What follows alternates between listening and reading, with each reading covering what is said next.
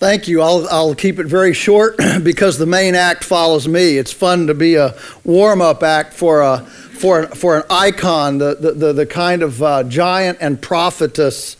Uh, I asked her if it was okay if I called her a prophetess. She said it's okay. Um, our, world, our world desperately needs more prophets and prophetess as prophetess is um. It's great to be with you this evening and great to uh, see such a great turnout. I would like to uh, kind of warm up for uh, Dr. Vandana Shiva with the idea that, um, that we live in a time when our orthodoxies are as strange as our forebears who lived in a time when uh, the orthodoxy was, for example, uh, that the earth was flat. Imagine living in a time when uh, the orthodoxy was the earth is flat and you're the one person that says, um, I think it's round. Now, uh, when we look throughout history, what we find is that generally those, those um, those weirdos, for the most part, were actually historically shown to be correct, you know, over time. And uh, so the weirdos, when the orthodoxy was the earth is flat, guess what? You know, they were, they were shown uh, that they, they were right, uh, or the earth is round. Um, how about that the sun revolves around the earth? You know, well, of course the sun doesn't revolve around the earth. Uh, the earth revolves around the sun. We know that today. But there was a day when you would have been marginalized, demonized, accused of being a strange person, you know, when you said, what do you mean? We, we, watch the, we watch the sun come up every morning. It sets, you know, it rises in the east and sets in the west. And you can see it come up, it goes over. Of course, it revolves around the earth. I mean, yeah, this is typical. Um, you know, there was a time, uh, there was an orthodoxy when, you know, universally it was agreed slavery is fine. And, um, and now we understand this probably not. There was a time when the orthodoxy was if you're sick, there's something wrong with your humors. And we need to uh, uh, bloodlet to get the humors out of you, get all those bad things out of you. You know, the, the blood was part of the humors.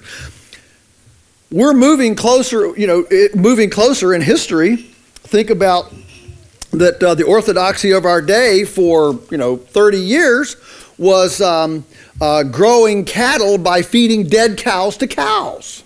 This was the orthodoxy, and farmers like me who dared to say uh, this is not a good idea were um, laughed into uh, oblivion by the PhD academic elitists and the industrial foodists of our, uh, of our culture. We, I was branded a Luddite, a, a, barbarian, a Neanderthal. What do you want to do? Go back to hoop skirts and, and um, you know, washboards and backwards. Uh, that might sound romantic if you've never done it, but. And then, you know, after 30 years, there was this kind of big universal suddenly, oops, maybe we shouldn't ought to done that. When bovine spongiform encephalopathy reared its ugly head and nature did indeed bat last. And today we have an orthodoxy that GMOs will feed the world. And so we take millennia of historical protocol and we in 30 days do a geriatric rat feeding trial and stamp approved equivalent as on it and send it into the world's population. This is the orthodoxy of our day. So, very quickly, I want to just give you a couple of, of big ones just to get you thinking as uh, Dr. Shiva comes up and shares with us her uh, take on some of these orthodoxies. For example, we have an orthodoxy today that nature is broken and we have to fix it. I mean, that's kind of the assumption. Nature's broken and we have to fix it. You know, in our neck of the woods in Virginia, there in the U.S., eh, when our neighbors, who, by the way, don't wish they were like us, they wish that we were gone, um, they called me a bioterrorist in my community, a typhoid Mary because they really believe that my unvaccinated, unmedicated, un, uh, you know, uh, uh, what free ranging chickens are going to commiserate with a red winged blackbird and take my diseases to the scientific Tyson environmentally controlled chicken houses and kill all their chickens, and everybody in Thailand and Bosnia that gets American chicken is going to starve to death because my chickens gave a red winged blackbird avian influenza. I mean, this is the reality. They, they, they, don't dislike me because they want to dislike me. They dislike me because they're actually fearful about their future. So when one of their animals gets sick, their first thought is, oh, that one must be um, pharmaceutically disadvantaged. You know, I didn't use the right drug. You know, if their if their plant gets sick, they assume that they didn't use the right herbicide, the right pesticide, the right insecticide. When I have a sickness in a plant or an animal, my first assumption is, what did I do to mess up nature? Our position is the default position of nature, nature's default position is wellness, fundamental wellness. And if it's broken and not working, I probably broke it. And I find that I learn a lot more about me, about ecology, about community and life when I assume that if it ain't working, it's my fault. That's the place of humility to come. And of, of course, an ancillary part of that is that life is fundamentally mechanical. That's another orthodoxy of our day. And so nobody asks, does it matter if the pig can express its pigness? The only question is, can we grow them faster, fatter, bigger, cheaper? And we all know that that's not a very good goal because the, that's why the average uh, NFL football player is dead at 57 because when your neck is bigger than your head, you're a freak and nature weeds you out.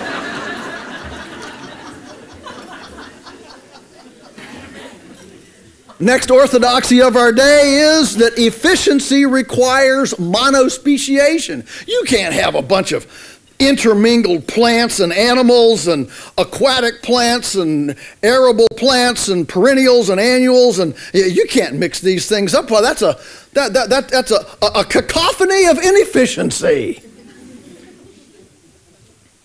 And the heretics dare to suggest diversity and multispeciation are actually far more productive per square yard than the most uh, uh, uh amazing uh, GMO monospeciation you can imagine. Variety is beautiful and functional. And our farm and food system should be aesthetically and aromatically, sensually romantic. because beautiful, diversified foodscapes are foodscapes that attract our children. And if it attracts our children, then it's right.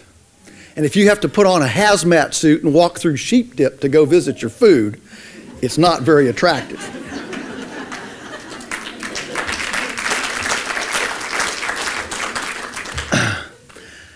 Third orthodoxy of our day home kitchens are unnecessary. Who needs a kitchen?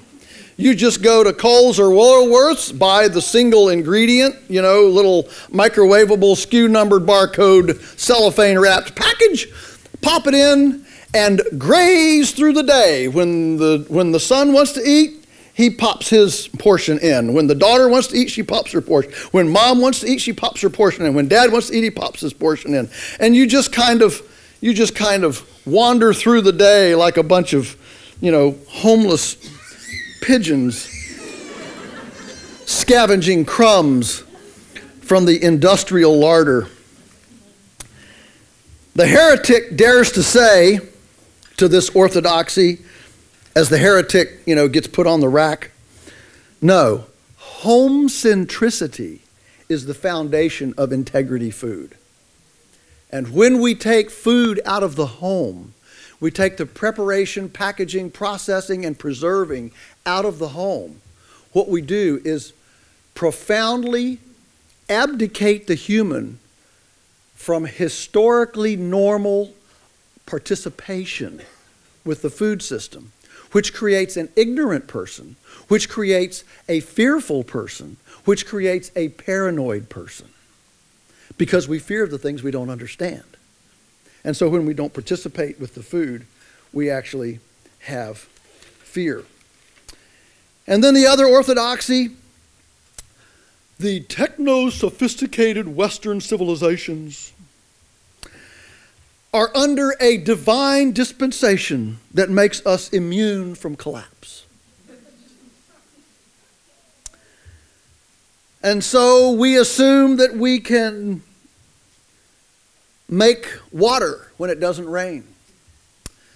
We assume that we can make immune systems out of chemicals.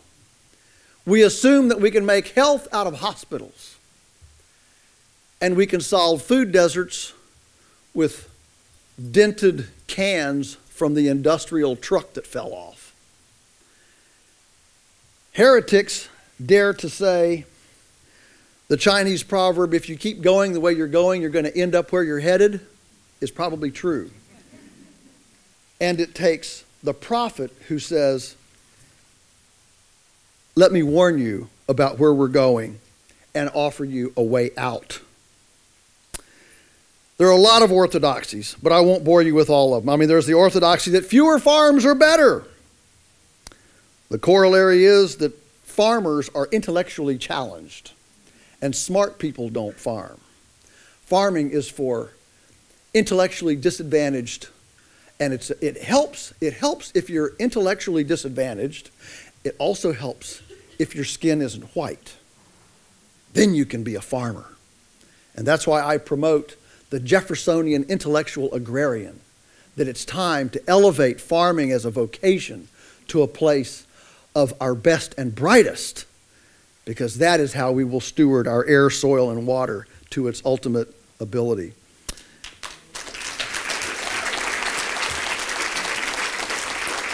There's another orthodoxy that food should be cheap. And so we have a very fundamentally cheap food policy. And life is fundamentally mechanical. These are all orthodoxies that probably the single most powerful voice in the world that dares to challenge these as a heretic and gradually as an earth changer is Dr. Vandana Shiva. The first time I heard her, I said, Whoa, here is somebody who shakes the earth, who shakes policy, who, I didn't say shape, I said shakes. And before you shape, you have to shake. Because it's the, it's the trembling of where we are and the path out of it that creates a pattern for change. And so it is with great pleasure that I introduce one of my mentors, one of my favorite uh, people who has had a profound effect on me, my thinking, my understanding, who challenges me spiritually, intellectually, physically, and on my farm to do it better. Dr. Shiva. Thank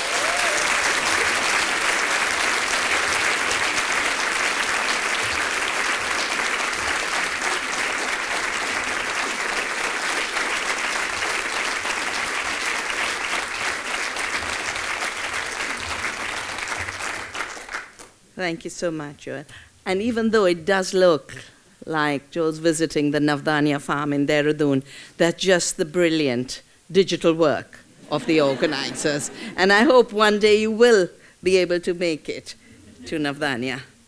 Uh, I want to thank the organizers uh, for uh, working together to put this uh, gathering together, and a lovely title because we are usually not conscious that the planet is always on our plate. Um, we have a beautiful ancient Upanishad that says everything is food, everything is something else's food. And in the food that comes to our plate are, in space and in time, all the relationships that ever were that made it. The relationships in the soil, of geological processes that gave the minerals, of all the organisms, the earthworm, which Darwin said would be the most significant species when human history would be written. in terms of what it contributes. He wrote a little booklet called The Mold, um, the mycorrhizae. And for this beautiful continent, I would add the Aboriginal people. Every morsel you eat is a gift from them. The last time I was in Sydney, I was here for the Festival of Dangerous Ideas. And they gifted me a book which I read on the way back. It's a very fat book. And the title of the book is The Largest Estate on Earth. And it's basically showing that this continent was managed as a garden, not as a bush. So I think it would be good for all Australians to start talking about their continent as a garden, because bush is something you use so frequently, isn't it? Um, and in every morsel we eat is all of evolution, biological and cultural. In it are the diversity of species and the further diversification by the farmers who today are called intellectually challenged, but have given us the 99.9% breeding that supports our food system. Um, Indian farmers gave us 200,000 varieties of rice. In Navdanyas, we've rescued and saved about 3,000. Um, most of the foods humans have eaten, and humans have eaten more than 8,500 species. Most of them were first driven out by the 12 commodities that were traded globally. And now that our seeds are genetically engineered, and the only reason seeds are genetically engineered is to collect a royalty from every acre. That's the only objective. Everything else is good spin. Now, because there are only four crops that they've been able to commercialize with genetic engineered traits, and only two traits after all these years, only two sad traits. Bt toxin, so that the plant becomes its own pesticide factory, and herbicide tolerant, the Roundup Ready crops. So you have four crops corn, soya, canola, cotton with two traits. And here are farmers who have, here's, here's, the, here's nature first, who's given us all the tremendous species. And then there are farmers who took grasses, the teosinte gave us the corn and the diversity. Although Oryza sativa, the parent of Indian rices. And no two varieties are the same no variety has only one trait.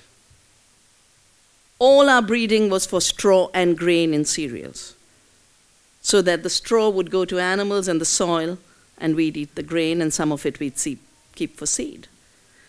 We've tried because of this orthodoxy that nature is deficient and other species don't have needs. The entire green revolution the objective was how do you move war chemicals into agriculture? Story that was never told. It was always, always about feeding the world. And then because native species have been evolved to maximize biomass, not grain, they changed the partitioning to make what were called dwarf varieties. And these dwarf varieties then got rid of the straw. So you had nothing to recycle back to the soil. You had no animal fodder. You had grain, and that too a monoculture grain. And the only reason this was done is because the traditional tall varieties, when they were fertilized with synthetic fertilizers, had a problem of lodging. So to get rid of that lodging, they made them dwarf. Did they invent the dwarf gene? No, they didn't. The wheat was taken from Japan during the war, Norin, and the rice was taken from Indonesia. then it was crossed. And yet, we've always been told that these were miracles created by Norman Borlaug, who was even given a Nobel Peace Prize for the chemicals. And he called them miracle seeds. And he trained 12 people to spread this chemical package around the world. And he had the arrogance to call them his 12 apostles.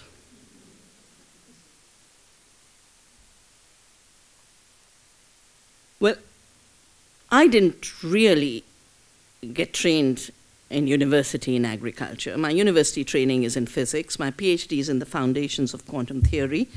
And already that training uh, equipped me well to get rid of the mechanical orthodoxy. And the mechanical orthodoxy assumes that everything is a hard billiard ball. And the only way they have impact on another billiard ball is through impact and violent action and direct action. And um, there's certainty. You can predict exactly where that billiard ball will move according to Newton's laws of motion. And then we get quantum theory that shows nothing is immutable. Newton even said God made the world in terms of immutable billiard balls.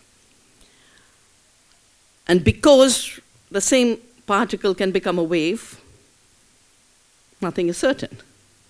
So living with uncertainty becomes vital. But most importantly, and to me, the two big lessons of quantum theory that helped me get totally liberated from the mechanical philosophy is first the idea of non separability, that everything is connected. Even in physics, we've learned that. And in biology of the, that's feeding industrial agriculture and genetic engineering, they're so trying so hard to keep a hundred year old orthodoxy alive of separation. The second in physics, in quantum physics, is because everything's evolving and there are no hard mutable, immutable balls, the world is really a world of potential. And potential depends on the context. So if farmers are respected in society and given a just price and allowed to learn from the earth and from their ancestors and from each other. We have systems that make farming viable, sustainable, respectable. And when you have an unjust system of pushing chemicals and seeds on farmers, farmers are turned into consumers, costs of production shoots up, then you have a globalized system based on so called free trade but the real part of that system is the $400 billion subsidy, a billion dollars a day, to push the prices down. And then you wonder why agriculture is becoming unviable. So, since everything is potential, including the seed, including our children, including our society, it's creating the context for uh, the unfolding of that potential that matters. So when I started Navdanya and I started to save seeds, and I started it because after my work on the Green Revolution, I started to get called for agriculture meetings and biotechnology meetings. And since I really deeply believe in permanent learning, I would go really to learn what's happening now. So I went to a biotechnology meeting, 1987, before any commercialization. And the industry that had brought us the war chemicals, had made them into agri-chemicals, was now saying, got to own the seed. Our only source of profits is ownership of seed. And the only way we can lay claim of ownership is through patenting. And the only way we can claim a patent is through genetic engineering because by then the tools of recombinant DNA were available in the public domain. And then they even said it's not good enough for us to capture US and Europe, which was the industrial agriculture market for seed. Most of the world had farmers' varieties, India. Till WTO and globalization, 80% of our seeds were in farmers' hands. And they said, got to make sure these patent laws apply worldwide. And they wrote an intellectual property rights treaty in the GATT, which became the WTO. And Monsanto is on record saying, we were the patient, diagnostician, and physician all in one in writing this treaty we, and what, what was their illness? They, they were ill because farmers saved seeds. And what was the prescription to cure them of the illness? Now it should be illegal for farmers to save seed. When I heard them, I said, This is unacceptable because every species has integrity. And for me, seed freedom is the freedom of each variety, each species to evolve into the future. It's the freedom and the duty of farmers to save seeds. So we take a very simple pledge in Navdanya that we have received this diversity and these seeds from nature and our ancestors, and it is our duty to save them and share them. And therefore, we will not obey any law that comes in the way of this higher duty. And from the beginning, 1987 onwards, not only have we personally not accepted patenting of seed and patenting of life, we've made sure that in India our laws don't recognize it.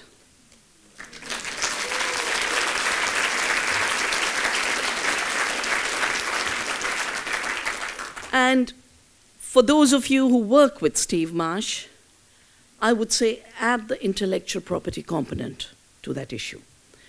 I don't think it's enough to say he's an organic farmer who lost his organic status. The more serious issue is canola, which was never invented by Monsanto, all they did was put a toxic gene into it to express toxic traits. Roundup resistance in particular, but also antibiotic resistance markers and viral promoters. That if at all they've done something new, it's that bundle of toxic genetic traits. And in any environmental issue, the principle is the polluter gets is polluter must pay. What Monsanto's done with Percy Schmeiser in Canada and Steve Marsh here is saying the polluter gets paid. And they've said in Percy's case, the way we'll take over, given the resistance against GMOs, is through contamination.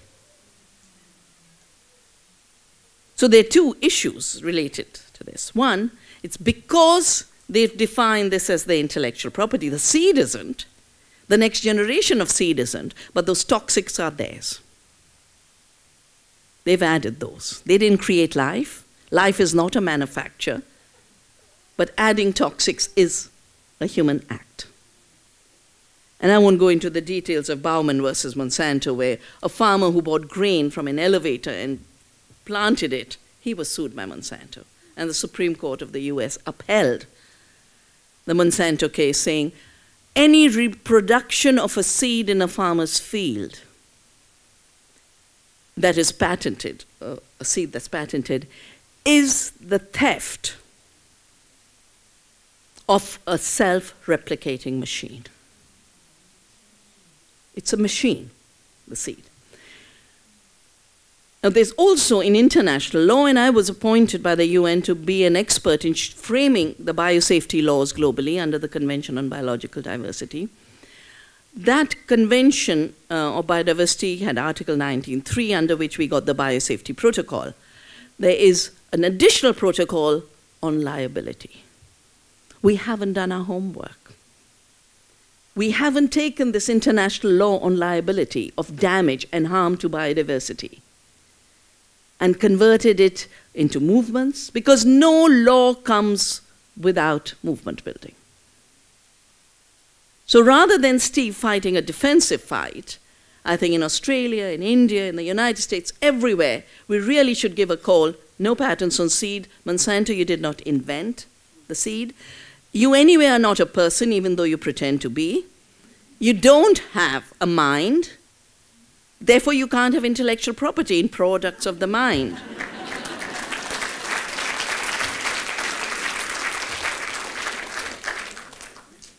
and of course, all the food we eat embodies in it the hydrological cycle, the water footprint. There's so much discussion now on the virtual trade in water with the export of water and the import of drought in arid areas.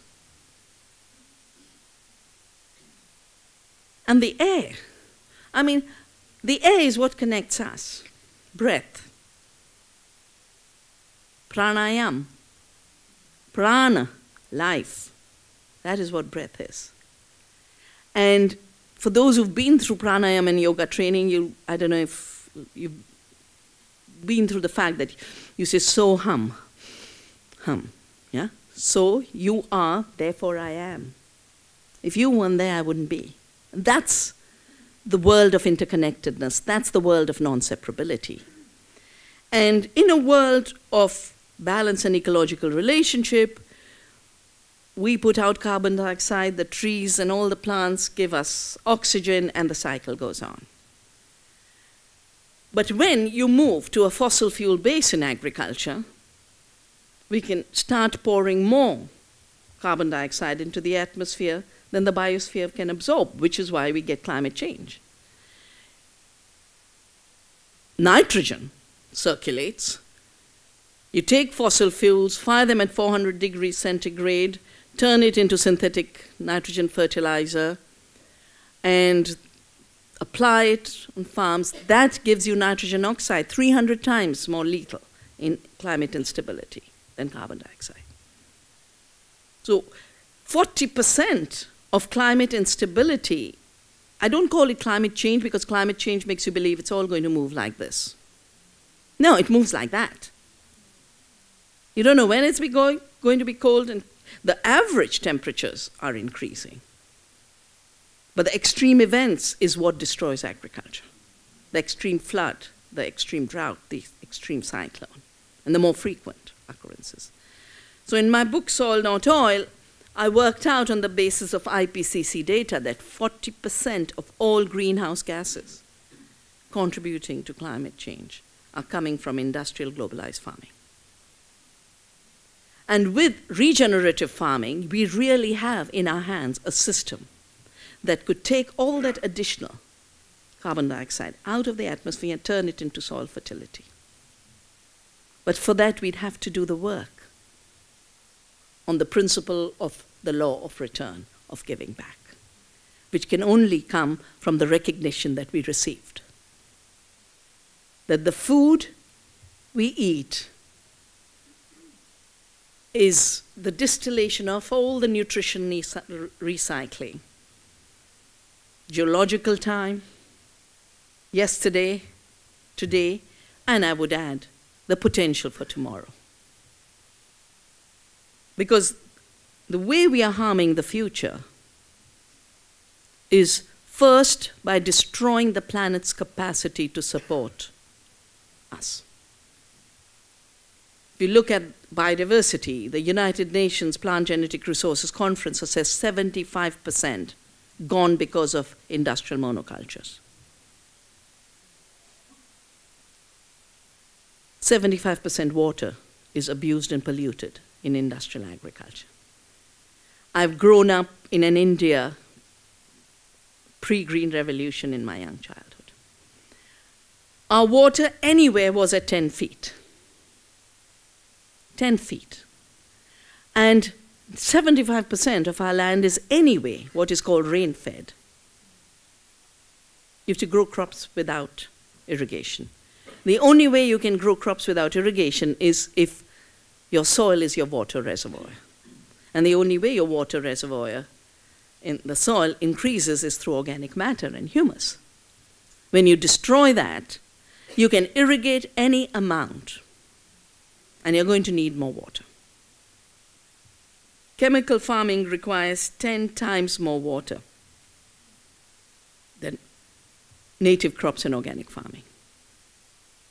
That's why dams are being built everywhere. Groundwater is being mined everywhere. And then the water that comes out, I mean, in organic farms, I know the council, city council of Munich pays organic farmers around Munich to do organic farming. So the water they received has been filtered through organic soils. In chemical farming, it's loaded with herbicides, glyphosate, pesticides, and it's more costly for councils to pull those pesticides out. Those nitrates from nitrogen fertilizer, and 70% nitrogen fertilizer runs off, goes into water bodies and is creating dead zones everywhere. If you look at the UNEP data on dead zones, every year the area where the ocean is dead is increasing. So, soil, water, biodiversity, 75% destroyed. And the argument is this is all done to increase food production. Are we increasing food production? Look at the data. Only 30% of the food humans eat comes from large industrial farms. 70% comes from small farms and gardens. And I don't think the FAO, which did this assessment, assess, assessed all the gardens. They assessed, you know, the more sort of documented gardens. Now, a system that is 30% of your food supply and is destroying 75% of the planet, all you have to do is try and make it 45% of your food supply, and you've got a dead planet. An impossible project. The single biggest reason why we got to shift to an agriculture that works within the ecological limits of the renewal of fertility and water. And those limits actually allows you to enhance your productivity. Because the arrogance of that mechanical mindset is also an arrogance of, I call it capitalist patriarchy, the idea that everything has to be conquered and controlled. And that idea of control is constantly driving an agriculture based on control, which goes out of control. Yeah. You think you're going to control the pests and you bring the war mentality, you know, kill everything living. Every insect is a pest. Not only do you create more pests, you create resistant pests, you create resistant weeds. Um, in the US, superweeds have just taken over. And Joel was saying that uh, every farmer is putting aside $100 for paying manual labor to deal with weeds that can't be controlled anymore. So the, the more you try and deny the fact that there are laws of nature and our most sophisticated work is to work according to those laws and not against them, the orthodoxy is. The only laws that exist are the ones we cook up. The laws of a free market. There's nothing like a free market. A market with intellectual property rights, $400 billion subsidy, threats, wars, trade wars, secret tribunals of the TPP. That's not free trade. That's coercive trade. And coercion in the hands of five corporations. In other times, when we could speak more normally, we'd just call it dictatorship.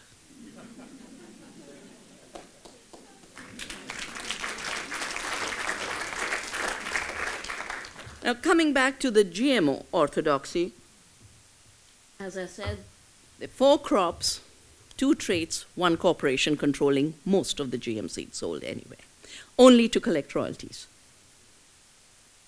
Monsanto produces no seed. Monsanto does no agriculture. All it does is lock local companies into licensing arrangements and appropriate the genetic wealth of the world and collect rents and royalties from farmers. In the US, I did a rough calculation on the basis of the royalties they collect. It's 10 billion just for the technology fees. In India, the revenue and rent collection made the price of seed go so high, and uh, I won't go into details of how the alternatives were destroyed, but it pushed cotton farmers into debt. 95% of the cotton seed became Monsanto's monopoly, and more than 291,000 Indian farmers have committed suicide since the days this globalization process allowed Monsanto to start taking over the Indian market. And that's why we've started a whole new program in cotton where we've saved native cotton seeds, we do organic training. I was visiting our farmers the other day, and one farmer took me so proudly to his field. He said, That half is all BT, because I was a BT cotton farmer, which is the uh, GMO cotton. But this half is seeds I brought from the Navdanya Community Seed Bank. Already, and he says, the harvest is not over. Already, with half the harvest, I've doubled the output from my native cotton. So, the idea that farmers don't have brains, nature doesn't have intelligence, is constantly when you allow nature and farmers to work. Uh, you know, they call farmers' varieties primitive varieties, primitive, inferior. And the industrial varieties are, of course, always superior and improved. And in Borlaug's case, miracles. And in the case of Monsanto, inventions. So, for people who can't understand the complication of antibiotic resistance markers and viral promoters, etc., and they get confused. And what's that? And what's that? I say, okay, in future, just remember GMO means God move over. because the only reason, only reason GMOs are being pushed is royalty collection. Uh, because the BT has failed to control pests and the herbicide tolerant Roundup resistant has failed to control weeds, their next round is to push these uh, biofortification products. One is called Golden Rice. Started 2000, in the year 2000. I wrote an essay, Blind Approach to Blindness Prevention. Blindness to biodiversity that gives us hundreds of percent more vitamin A. Now, of course, you have your own Dr. Dale of the GMO banana fame. Now, interesting thing is, Dr. Dale's story is different each place I read it. The, we started a campaign in India because he went on TV, American uh, Australian Broadcasting Corporation, saying, um, "I'm going to save Indian women from dying in childbirth because of iron deficiency. I'll increase iron content in banana." Bananas have 0.44 milligrams of iron. You begin with amaranth, you begin with turmeric, you begin with other things which are rich, rich in iron, which have 7,000% more iron. And he said he'd do golden, he'd do a banana with vitamin A for Uganda. He says because they eat only banana. Yes, they eat banana for their energy and starch, but that doesn't mean they don't eat vegetables. So Adam is here in the audience, and Adam did very quick research and found out that the beta carotene trait in what Dale claims to be his invention through genetic engineering was pirated from Pacific bananas, indigenous Pacific bananas, that have been used in nutrition programs. And a scientist had worked on these beta carotene rich, and all that Dale did was steal that research. And then go through the gymnastics of genetic engineering to make it look like magic got created. Now, because we build a campaign on the iron rich, suddenly India is about disease resistance. They keep changing. Now, the iron has also moved to Uganda. And they were going to do trials in Iowa State. 12 students paid $900 each to eat three to four bananas. Because we built up the campaign, we built up the movement, and they're suddenly saying, okay, we are going to hold the trials for a while. My reading of those trials was no, they are not. No one can test in a few months and four bananas. What's happening to the health of people? It wasn't about safety, it was about commercialization. And it was basically about colonialism. That now we will tell the Africans, we've eaten it, so you'd better eat it. And then Mr. Gates, who's financing Mr. Dale, would have got together and pushed every development agency and aid agencies to say, that's the only banana that will be distributed through all the aid money of the world. That's how all this works.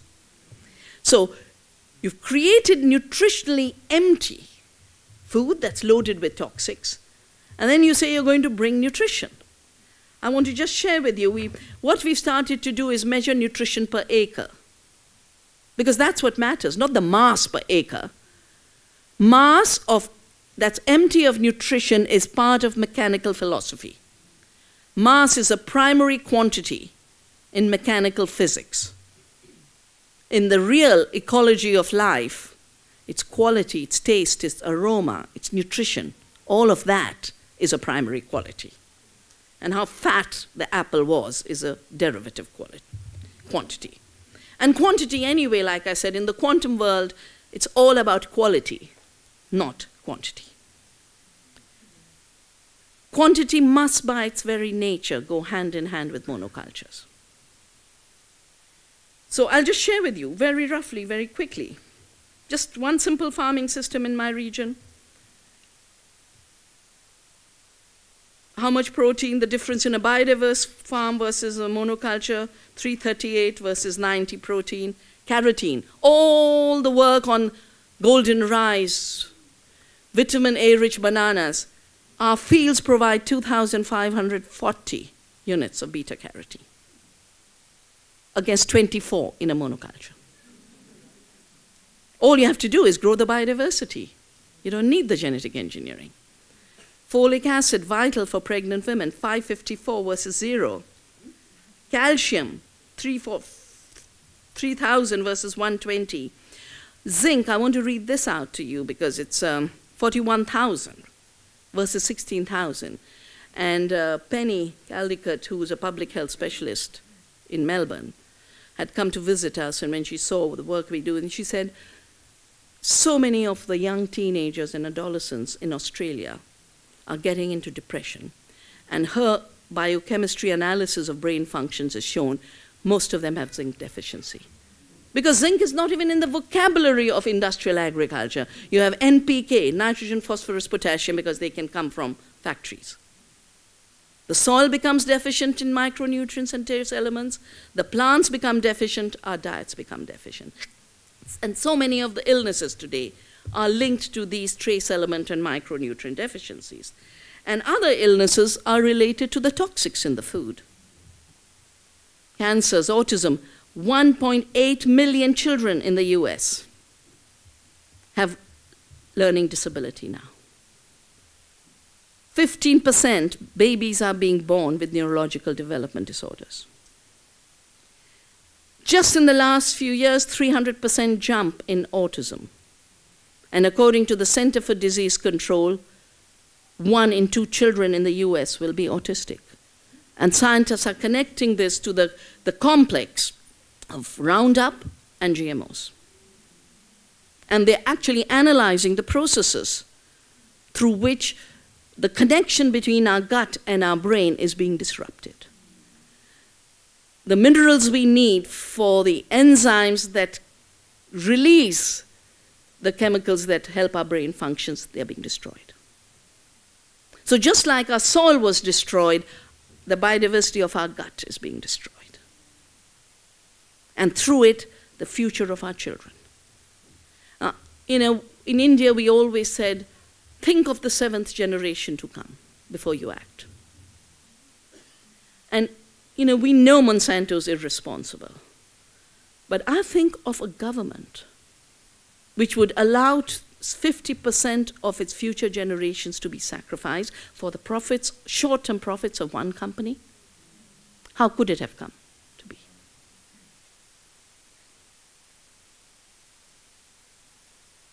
So the choice is very clear for us. Either our plates that connect to the planet in ways that respect the earth and the soil and the seed and the water and the atmosphere and minimize our footprint by increasing food production. Our work has shown that we produce more food, we could feed two Indias through biodiversity intensification. We've done wealth per acre 1.2 trillion is the externality of a chemical system that people bear through pollution, through dis disappearance of species, through the farmers' suicides. On the other hand, with their own seeds and ecological agriculture, our farmers are earning 10 times more. So, this is the answer to hunger by growing more food and healthier food. It's the answer to disease and it's the answer to poverty. Because the entire industrial system is based on what I call the law of extraction. You extract the fertility from the soil, and leave desertified soils. You extract the wealth of the farmers and leave rural communities impoverished. You extract the health of our children. But there is another law of return we can obey. And that law of return is of ecological return to the soil, of equity and respect for the farmers to make sure they get a full share. The, the globalized industrialized model allows, allows 1% or 2% to return to the farmer in terms of the consumer dollar, but then the industry takes out 10 times more. So it's a negative economy. It's a negative economy in energy terms. 10 kilocalories go to produce one kilocalorie of food, when ecologically we could have one kilocalorie producing 10 kilocalories. That's the way out of every crisis we face. But there's also a political law of extraction. And that political law of extraction is leave people powerless and without democratic rights. And I just want to show, share with you a few of the more recent um, ways in which this is functioning, besides issues like globalization and uh, WTO and Trans Pacific Partnership. So, one aspect, as I said, is criminalizing our highest duty, which is saving seed. We fought these laws through a satyagraha, Gandhi's word for the force of truth.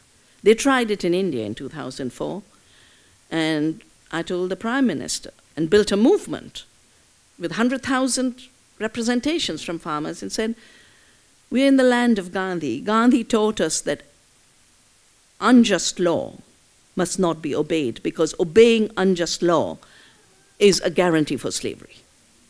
And freedom demands that we adhere to higher law, to not obey unjust law.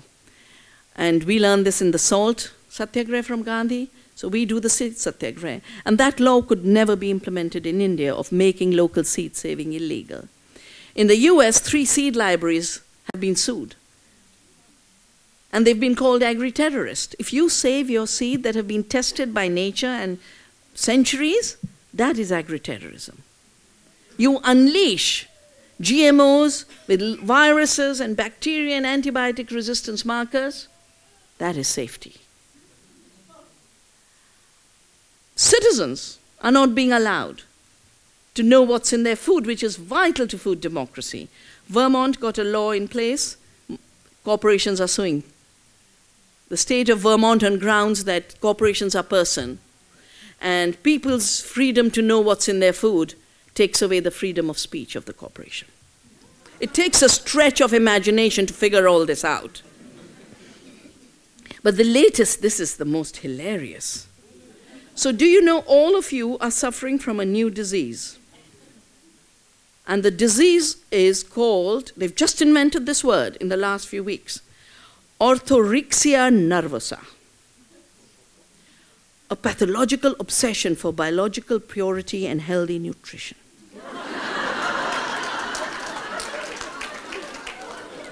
so you criminalize the farmers, you criminalize the consumer, you criminalize people wanting a life through healthy food. Now, when it becomes that bigger scope, I think they're doing us a favor.